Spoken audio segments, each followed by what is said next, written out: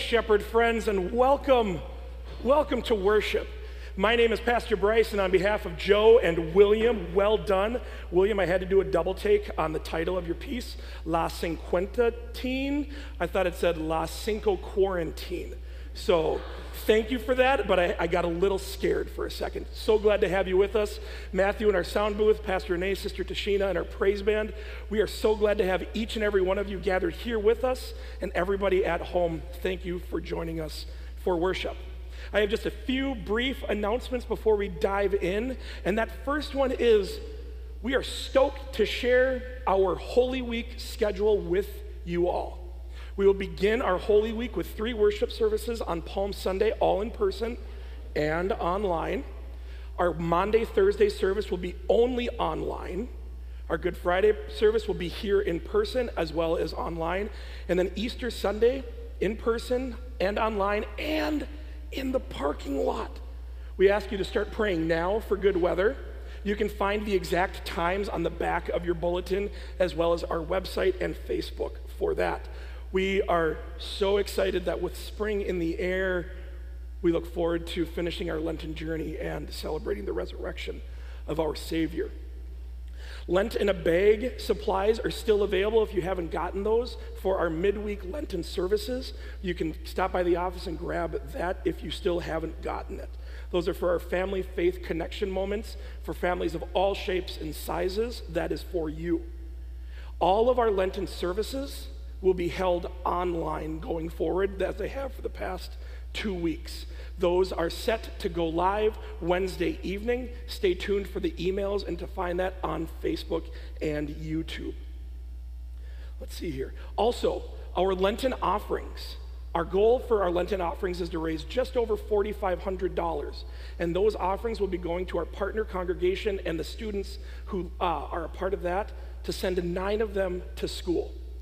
Not every nation is lucky, like the United States, to send their students to a, K, to a full K through 12 school uh, without added tuition.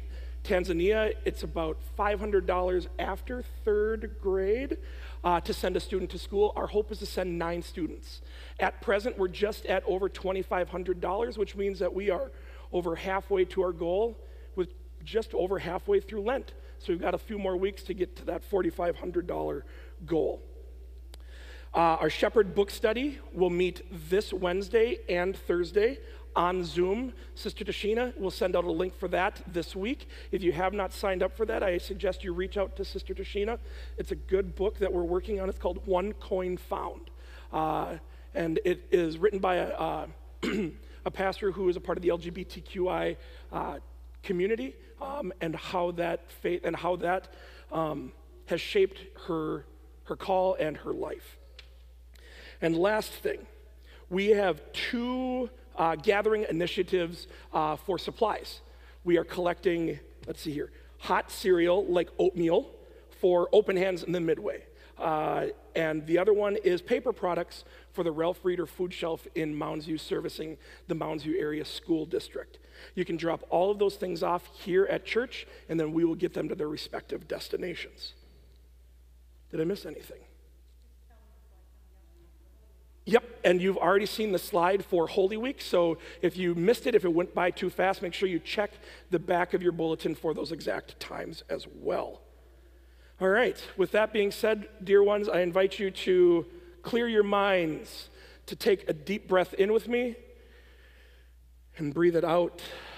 Breathe in and out. I invite you to center your hearts and your minds as we now enter our time of worship.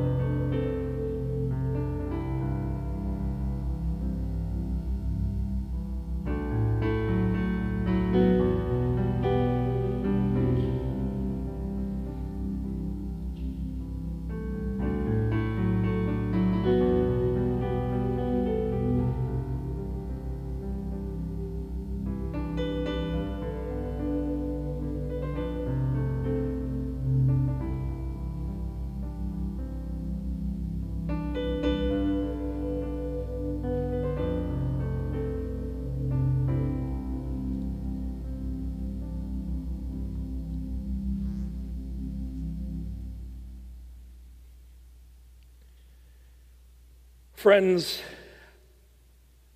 I invite you to pass the peace of Christ with those that you rolled into church with this morning and those that you are gathered with at home. I invite you to extend that peace now. May the peace of Christ be with you all and also with you. God's peace to you, dear ones. Very good. One thing I did forget to mention about 20 minutes ago, we had some problem with our cameras where they went dark on us. So if that happens, you might see our frame shift from a departed one and then zoomed in, but know that we have done everything that we can. And if that happens, you'll just see the, the angle of how you are seeing worship change a little bit. But we're doing, we've done everything that we can. All right, with that being said, I invite us to join our hearts as we sing in them or out loud at home for our gathering song, The Heart of Worship.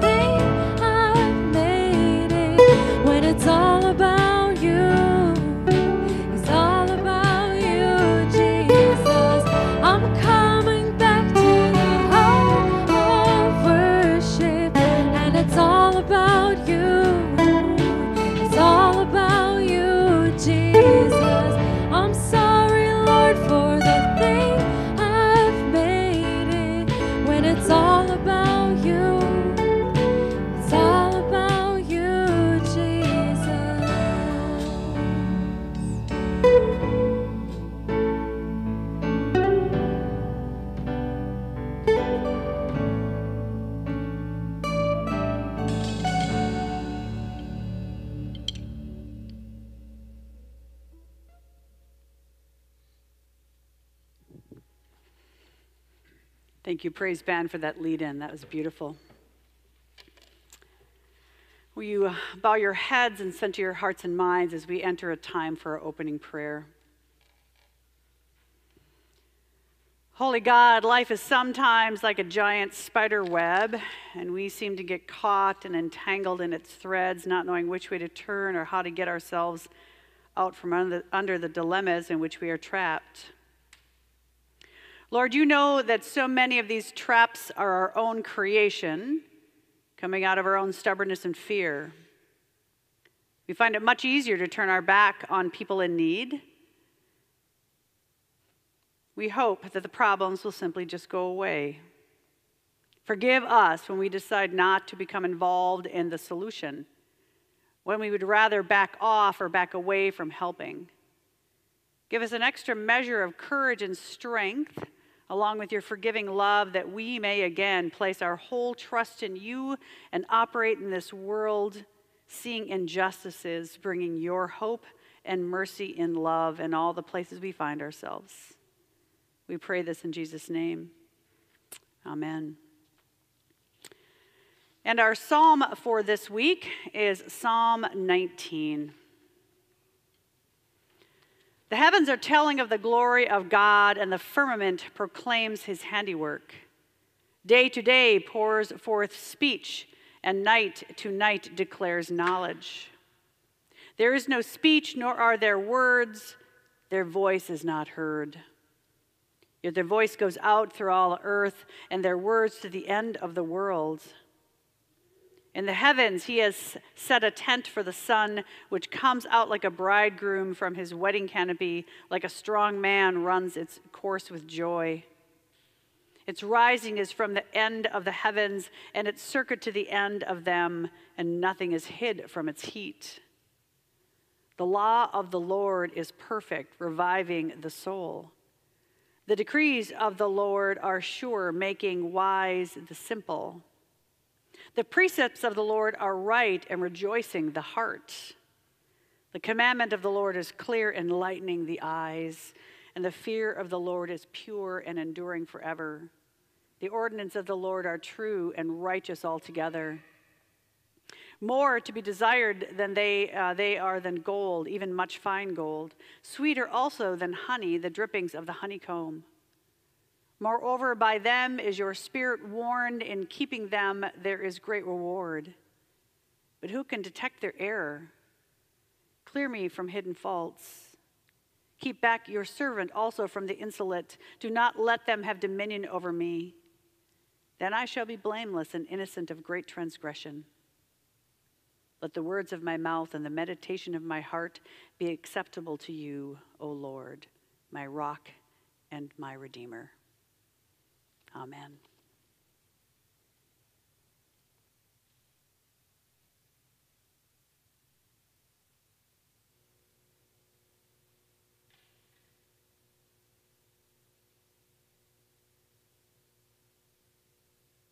Great. Oh, so for our children's message portion of our worship time, I have a story about going to church, and I need your help. All right, we're gonna Mad Libs this. I need a name. Anybody? What? Pastor Renee. Pastor Renee. All right. This is gonna be interesting. I need a thing. Lunch. I need a place. Hawaii. All right. All right. I need another name. Hazel, can you help me out? What's a good name? William. All right. I need a number. Seven. Seven. Okay. I need an I need a number. Uh, so uh, animals plural. Yes, Hazel. Dogs. I need a store's name. Target. All right. And then I need an amount of money. The bigger, the better. 17 million. Okay. All right. So, our story about going to worship. One day, Pastor Renee was going to the temple to make a sacrifice, which is something that you give to God. It can be because uh, it can be because you want to worship God, or it can be because you've done something wrong. And for Pastor Renee, it was because she did something wrong. She stole a lunch from Hawaii. And when Pastor Renee got to the temple, Pastor William went out to meet her. And when he heard about the stolen lunch, he told Pastor Renee that she would need to bring seven dogs. yes, so, and she goes, Seven dogs? Pastor Renee was in shock. Seven dogs. Hmm. So Pastor Renee went out to the open temple grounds to visit Target. It was right there in the temple. Seven dogs. It was going to be easy to find seven dogs at Target just out in the temple here. However, seven dogs cost $17 million, which was twice as much as it should have been. What was Pastor Renee going to do? Oh my goodness. Well, that sounds like a normal day at church, right? That sounds all like oh, how it is when I go to worship, right? Yeah? Maybe? No? Hazel's given me a look that says, not true. Well, this is how, kind of how it was when Jesus showed up to the temple and they were selling crazy things out in the temple for sacrificing. Um, which they did sacrifices in temple. That was normal for church then. But selling them inside the temple grounds changed what worship looked like, and Jesus got kind of upset about this, which Pastor Bryce is going to read for you after a, after a while here.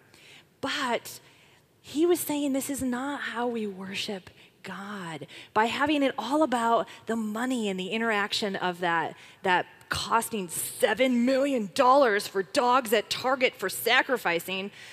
Something also tells me Pastor Renee would not be sacrificing dogs. Um, well, that's what came. Um, and so Jesus teaches us that, that worshiping God is about God and our relationship with God, not about spending the money to for the sacrifices and the exchanges that took place because people were taking advantage of other people, which isn't very cool and not very fun.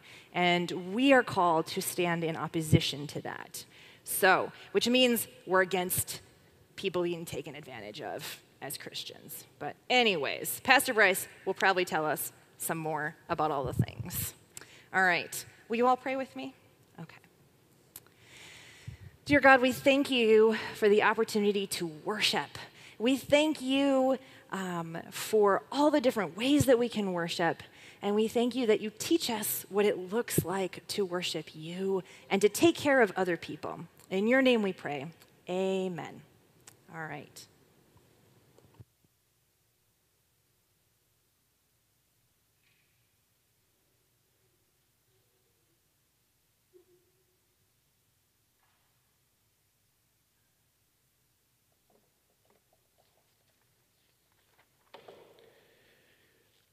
Our gospel text for this morning comes out of the book of John, the second chapter, beginning in the 13th voice. Wow, verse.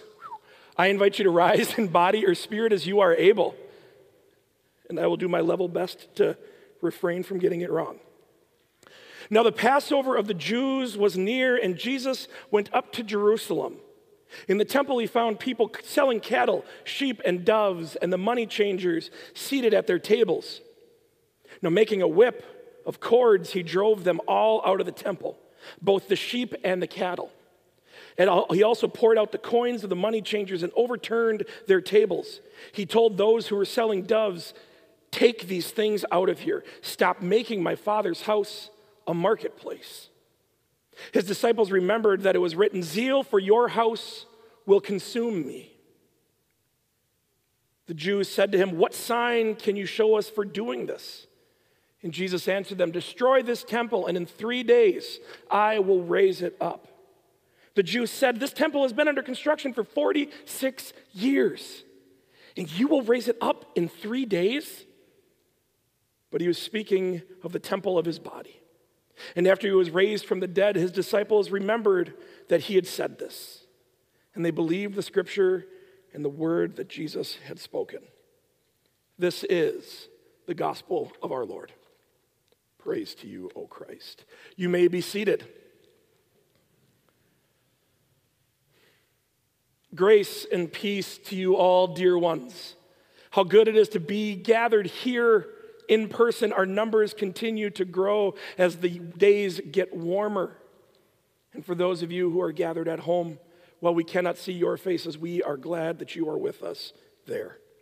I thank our God when I remember you work that you and I and we have all been called to. Would you please pray with me?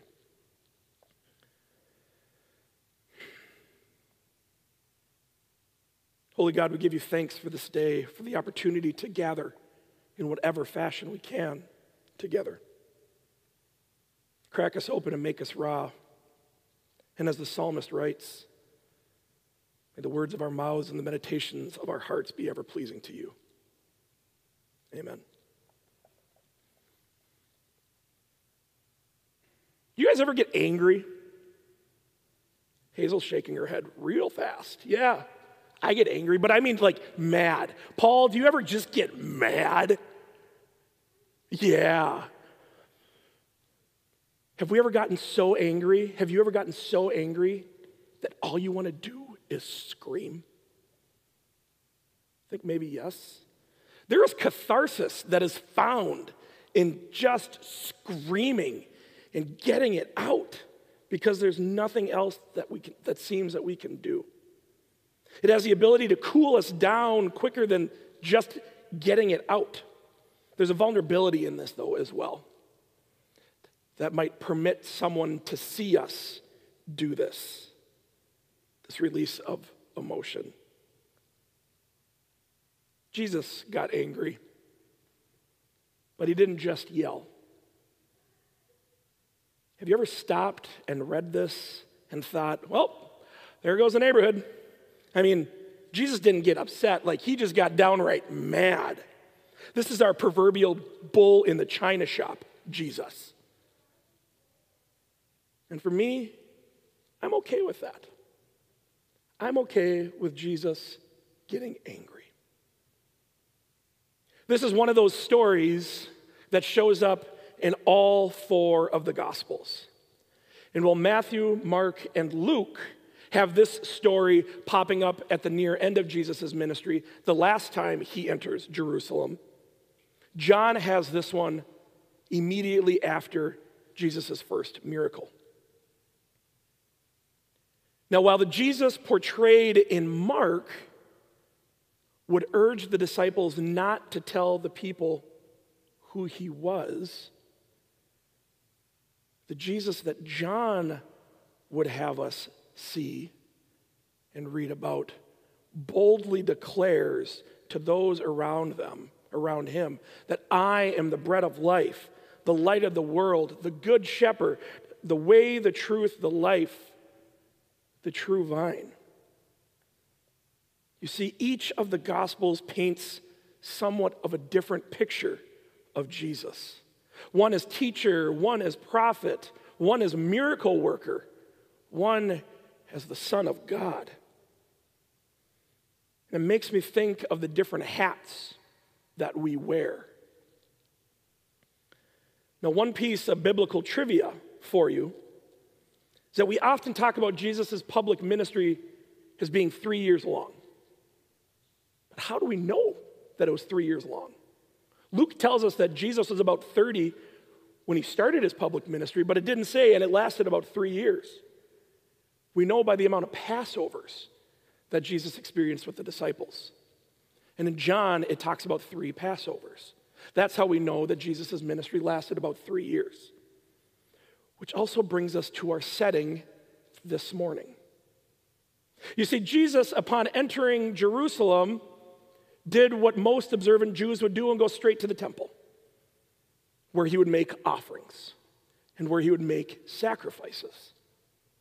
Now, an offering at the temple mandated a half a shekel, which is a Jewish coin. The only problem is Jerusalem and the surrounding areas were under Roman rule, and they did not use shekels. So, in order to follow the law, they needed to exchange their money. Simple enough, straightforward, right? Anybody here ever travel and exchange those traveler's checks in for euros or pounds or pesos? The people at the hotel did it for free, right? They didn't charge us anything. No, they had to charge us something because that's how they made a living. That's what we see happening here beneath the lines. The money changers were there to provide a service for the Jews coming in from the countryside and surrounding areas. The problem was that this exchange rate wasn't very favorable to them. And these money changers took advantage. The same thing happens with these pre approved, priest approved, sacrifice ready dogs. Sorry, sheep, cattle, doves. My mistake. I got the Mad Libs mixed up. These pre approved, priest approved, ready to purchase sacrificial animals, which made sense that they were there, but the taking advantage of didn't. You see, these people's greed won out, which is why you see Jesus getting so upset at the perversion of God's temple, where we see Jesus' righteous anger come out. But we seldom see that. Jesus' Jesus's display was just that righteous. As he enters a temple, he immediately cleanses it. Now, before I get, go any further, I want to make one thing very clear is that some of us come from a tradition where we might have been told that getting mad is a sin, or that being angry is just something that you shouldn't do because it's wrong. I want you to just put that in a box and close it and tuck it in a closet way far away. Because being angry is natural. Getting upset is okay. But it's what we do with that anger that happens next that dictates if it is good or not. Anger is an emotion that we have been gifted to by God. And if we tuck it away and don't allow ourselves to experience it, then we aren't honoring ourselves or God when it happens. Getting angry should call us into action to, should spur us into movement. Jesus got angry because he saw injustices happening, things that struck against the very fiber of who Jesus was. Those taking advantage of those who could do nothing made him act, just as it should do to each of us. But being a loose cannon and getting angry for the sake of being mad is something that we should probably work on. Now, I, for one, like this story for a bunch of reasons. I like it because Jesus puts the temple officials in their place again. I like it because we see Jesus show some raw emotion. I like it because we are reminded yet again that Jesus is a real person who felt real things. I was struck in our conversations during Bible study this last week about how much we sometimes struggle with Jesus getting upset.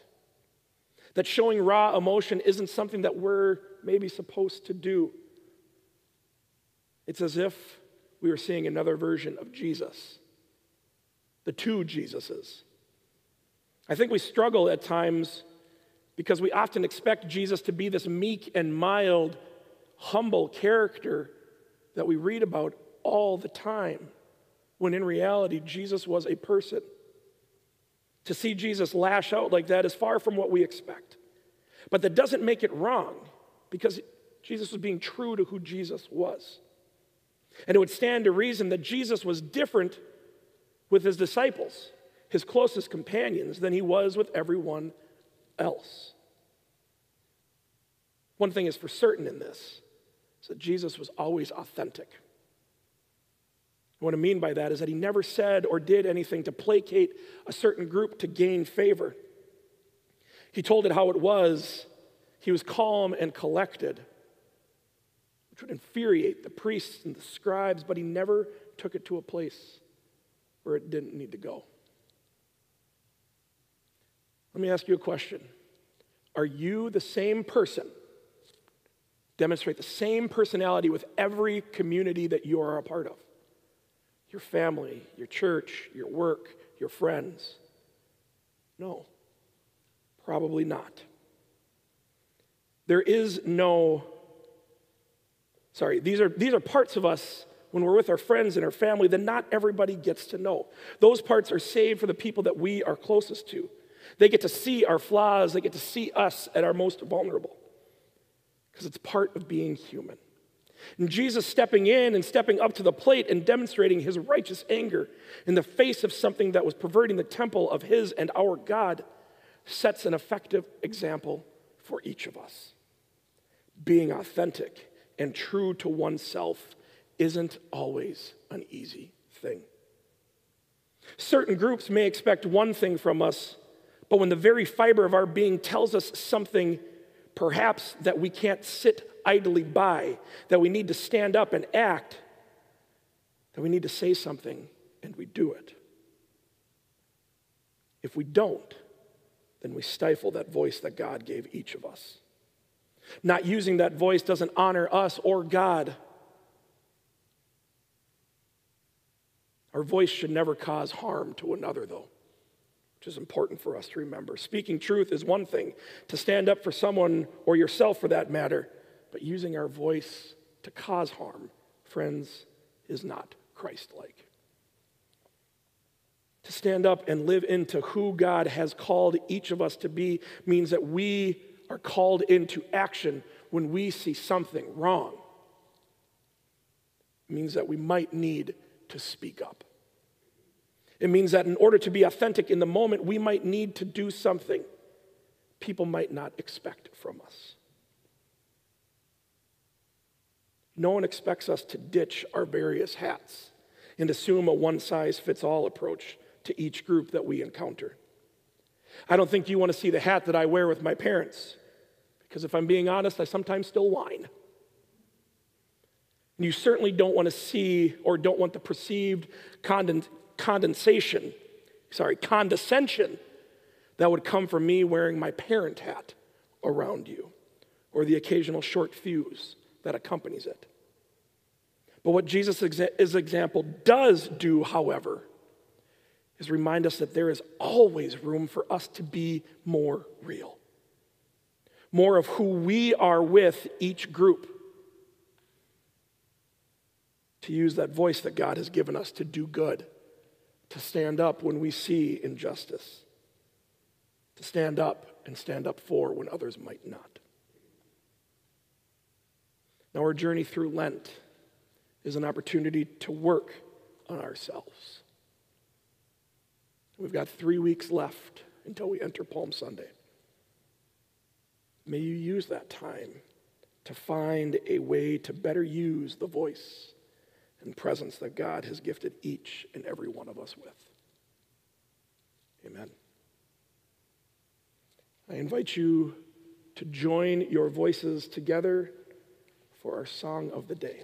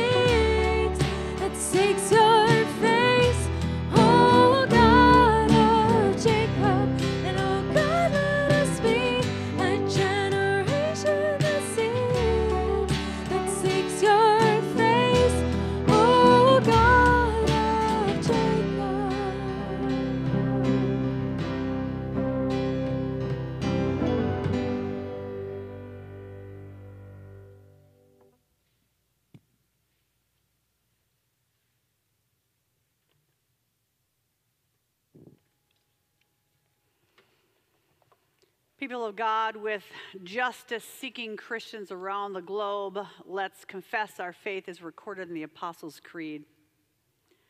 I believe in God the Father Almighty, creator of heaven and earth.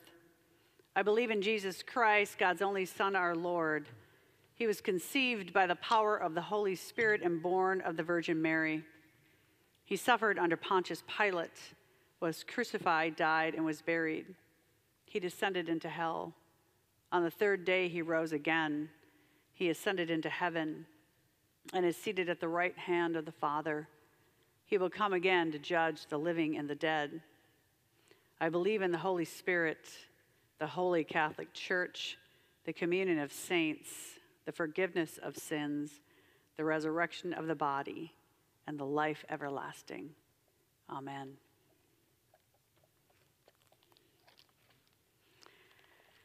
As we enter a time of prayer together, uh, I encourage you to be thinking of those things that are weighing on your heart that you would like to lift up as well. Also, uh, when in the prayer petitions, I will say, Lord, in your mercy, and you can respond in your heart, hear our prayer. Led by the Holy Spirit and the whole people of God in Jesus Christ, let us pray for the church and all of those in need. God of our lives, you call us to see the injustices in this world. But far too often, we sit on the sidelines in fear. We act in inauthentic ways. Equip us with a bold faith and a bold voice to step up and speak out when we see injustices. Help us understand that we partner with you in the building of this kingdom of yours, one bold act at a time. Lord, in your mercy, hear our prayer. God of creation, we give thanks for the pink cotton candy sunrise that we had this morning and for the warm signs of spring weather. You have gifted us with this beautiful place to live. Help us to never take this clean air in this beautiful land for granted, and for us to understand how our actions impact everything around us, from the things that we buy and how we buy them, to the policies we enact and allow. Help us always to see clearly how all of what we do affects the other. Lord, in your mercy, hear our prayer. God of the whole world, as we watch the news, it seems as if there is violence everywhere. Today we pray for peace. Peace for all who live in violence, all who live in hunger, all who mourn this day. May they know your healing presence, and may we, your faith filled people, work together to bring peace and healing and wholeness to all corners of your creation. Lord, in your mercy, hear our prayer. God of our health, we are hopeful as we hear of those that are receiving their vaccines. The light is at the end of the very long tunnel. Keep us encouraged and looking forward as we continue to travel this long road together. Grant us patience and health along the way. Lord, in your mercy, hear our prayer. God of our students. There are so many ways in which we can engage in how you are active in this world. As we seek during this Lenten time to bring an education to our nine students from our sister church in Kidamali, Tanzania, we lift these young people in our prayers to you this morning. This morning we pray for Brian, for Raja, Godlove, innocent, Joshua, lightness, Meshach, Neves, and Tumaini. Grant these students good study habits and a thirst for knowledge. Surround these students and their families with your love and guidance. And send your spirit to rest mightily upon the Kidamali people. May their crops grow strong and their faith burn brightly. Lord, in your mercy, hear our prayer. God of healing, may those who call out to you in great faith find your heart open to their cries. We ask for healing for the sick and suffering, for so many that are dealing with so many health concerns.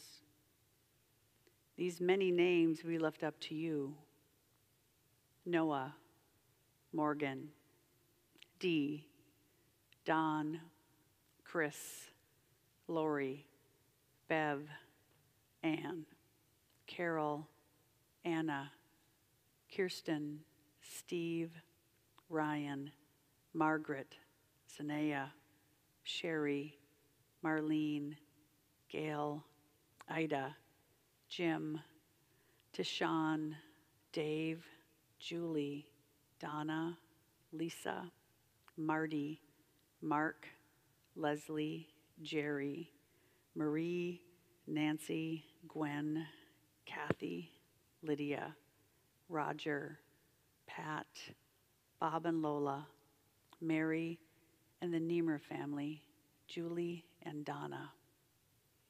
And we lift up Jessica as she continues to struggle with health challenges. We pray that the medical team can find solutions so that she can be returned to health. We continue to pay for, pray for Jean and Pat Gunderson at the passing of Pat's father. Surround them with peace in this difficult time. Send your healing spirit to rest mightily upon these people and to all those that we name in our hearts.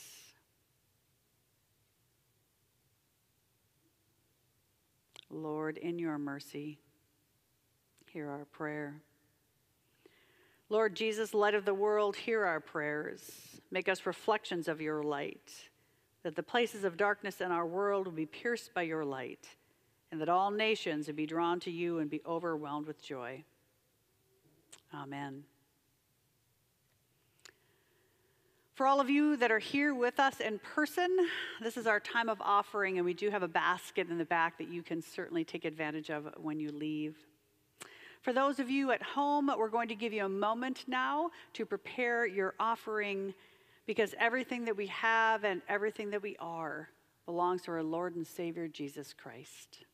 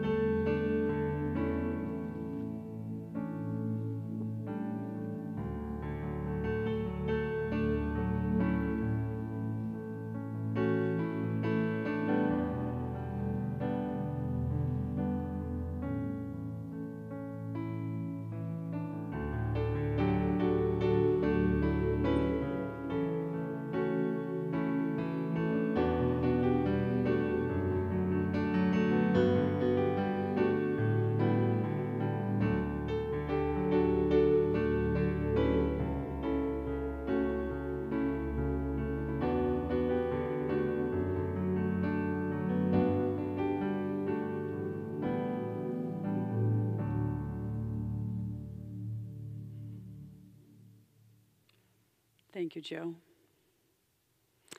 We're about to enter a time of Holy Communion, so it is now time to get ready your little um, containers of juice or wine or cracker or bread. Those of you at home also make your elements ready. When we say that everybody is welcome at this table, we mean everyone is welcome at this table because these are the gifts of God for the people that God loves. Because in the night in which he was betrayed, our Lord Jesus took bread, gave thanks, and gave it to his disciples, saying, Take and eat. This is my body given for you. Do this in remembrance of me.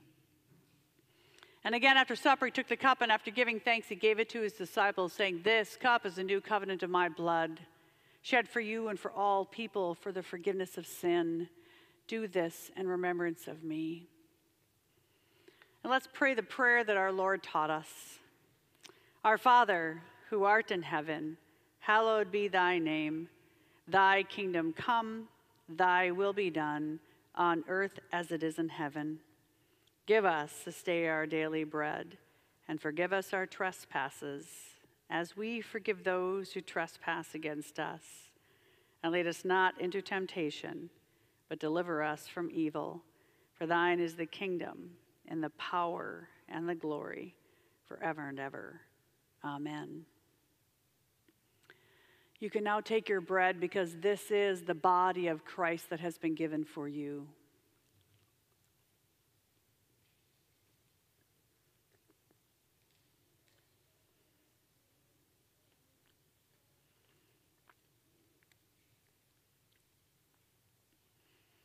You may take your wine or juice because this is the blood of Christ that has been shed for you.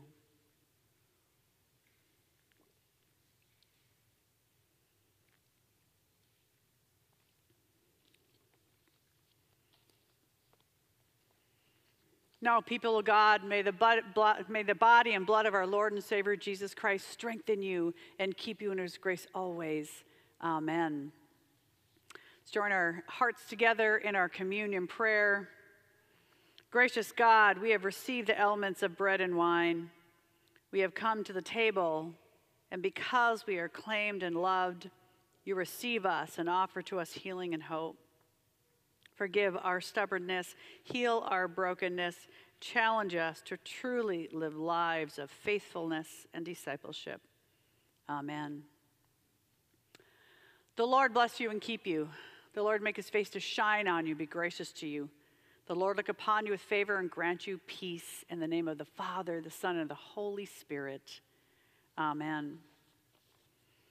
And our sending song is Canticle of the Turning.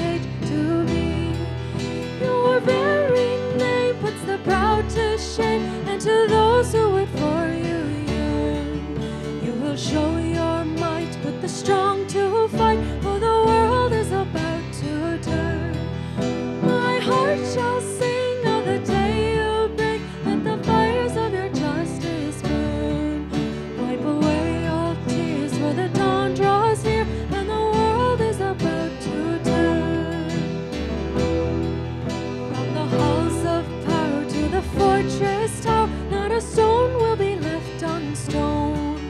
Let the king beware, for your justice tears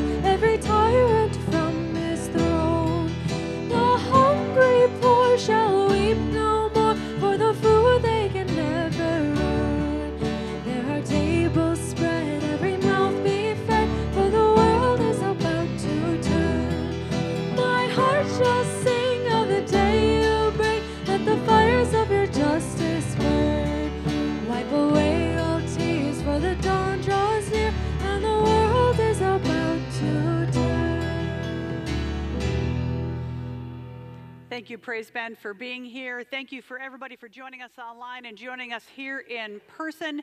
Go in peace, serve the Lord. Thanks be to God.